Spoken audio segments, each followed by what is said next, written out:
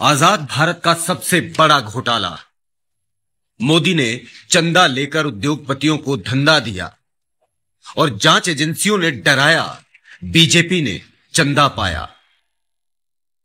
मोदी की वजह से आज देश की जनता शर्मिंदा है और हो भी क्यों ना, आज़ाद भारत का सबसे बड़ा स्कैम जो सामने आया है। जी हाँ इलेक्टोरल बॉन्ड स्कैम ये घोटाला देश में मोदी और भाजपा की भ्रष्ट, कलंकित लूटो और लूटने दो की नीति का पर्दाफाश कर रहा है। इलेक्टोरल बॉन्ड में दान देने वाली कई ऐसी कंपनियाँ हैं जिन्होंने पहले चंदा दिया और बाद में उन्हें भाजपा सरकार से करोड़ों रुपए के प्रोजेक्ट मिले। मेघा इंजीनियरिंग अप्रैल 2023 में 140 करोड़ रुपए के इलेक्टोरल बॉन्ड्स लेती है और ठीक एक महीने के बाद उन्हें 14,400 करोड़ रुपए का Thane Borivali twin tunnel project मिलता है। जिंदल स्टील एंड पावर ने 7 अक्टूबर 2022 को इलेक्टोरल बॉन्ड में 25 करोड़ रुपए दिए। और सिर्फ़ तीन दिन बाद वो गारे पालमा कोयला खदान हासिल करने में कामयाब हो गया। एपीसीओ इंफ्रा 10 जनवरी 2022 को इलेक्टोरल बॉन्ड लेती है और 24 जनवरी 2022 को उसे 9000 करोड़ का वर्सोवा सीलिंग टेंडर मिल जाता है। मोदी के भ्रष्टाचार की दास्तान यही नहीं रुकती। इलेक्टोरल बॉन्ड लेने वाली टॉप 30 कंपनियों में से 14 ऐसी कंपनियाँ हैं जिन पर ईडी सीबीआई और आईटी ने छापेमारी की। इनमें सबसे बड़ा नाम और सबसे ज़्यादा रकम फ्यूचर गेमिंग एंड होटल्स का है, जिसने तेरह करोड़ रुपए का चंदा दिया। कैसे दिया? यह भी हम आपको बताते हैं। 2 अप्रैल 2022 को ईडी ने फ्यूचर गेमिंग पर छापा मारा।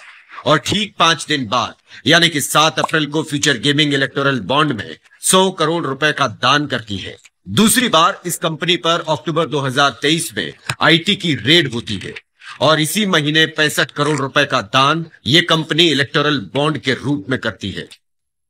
यही नहीं, इस कंपनी के मालिक लॉटरी किंग के बेटे चार्ल्स जोस मार्टिन ने बीजेपी भी ज्वाइन की। जाँच एजेंसियों की छापेमारी में अगला नाम शिरडी साई इलेक्ट्रिकल्स का आता है। इनकम टैक्स ने दिसंबर 2023 में इस कंपनी पर छापा मारा और अगले ही महीने जनवरी 2024 में ये 40 करोड़ रुपए के इलेक्टोरल बॉन्ड खरीदती है। ऐसे ही हेटेरो फार्मा और यशोदा अस्पताल पर भी पहले छापेमारी हुई, फिर इन्होंने इलेक्टोरल बॉन्ड के माध्यम से चंदा दिया। इस चुनावी चंदे का पैटर्न ये बताता है कि एक हाथ दो और एक हाथ लो। जैसे केंद्र सरकार द्वारा 3 मार्च 2021 को राधिकापुर पश्चिम प्राइवेट कोयला खदान वेदांता को दिए जाने के तुरंत बाद वेदांता अप्रैल 2021 में 25 करोड़ रुपए के इलेक्टोरल बॉन्ड खरीदती है।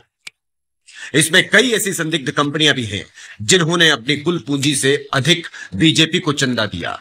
जैसे क्विक सप्लाई चेन लिमिटेड, एक ऐसी कंपनी है जिसकी पूरी शेयर पूंजी एमओसीए फाइलिंग के अनुसार सिर्फ़ 130 करोड़ रुपए है।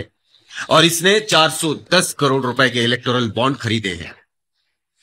ईडी की छापेमारी उसके बाद कंपनियों का इलेक्टोरल बॉन्ड खरीदना इलेक्टोरल बॉन्ड खरीदने वाली कंपनी को हज़ारों करोड़ के सरकारी प्रोजेक्ट मिलना और संदिग्ध कंपनियों द्वारा चंदा दिया जाना, ये तमाम सबूत हैं जो मोदी के भ्रष्टाचार की पोल खोलते हैं। साफ़ है, मोदी ने आज़ाद भारत का सबसे बड़ा घोटाला किया है।